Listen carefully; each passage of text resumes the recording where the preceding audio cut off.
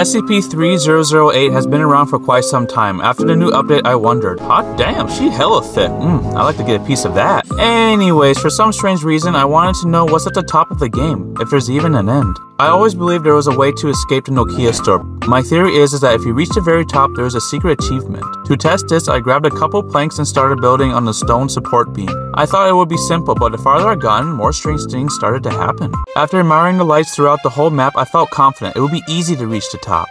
Then I fell. Oh shit, you really gotta be kidding me right now. I tried again when it was dark, but no, the workers just had to kill me.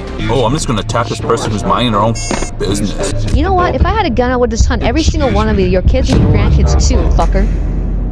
One hour in the game, I was higher than before, but the stupid plank pushed me to my death. I started to suspect something sinister is going on. The more I kept getting higher, the more times I kept getting knocked back to my freaking death. No fucking way. Over and over again. I decided to use tables after dying seven times. I got higher than before, it was working. I couldn't see the store and signs anymore. This is when I'm going to reach the top, I thought. But then the lights started to fade, everything turning red. I realized my hunger meter is at zero. No, I'm losing health. I forgot the fucking stupid food. It was the most easiest thing to do, but my slow ass somehow forgot about it. It looked like I was about to reach the end, but I was a minute too late. Fuck this game, I quit. Two hours I've been trying to reach the top. I was at 1,504 studs above the ground. That's equivalent to 1,383 feet. All that time and determination for nothing. My hands hurt, but I wasn't going to give up. I felt motivated. But I realized I didn't save my fucking recording. I got into 3,000 studs, but I realized there might not be an end at all. That the top might stretch forever. For now.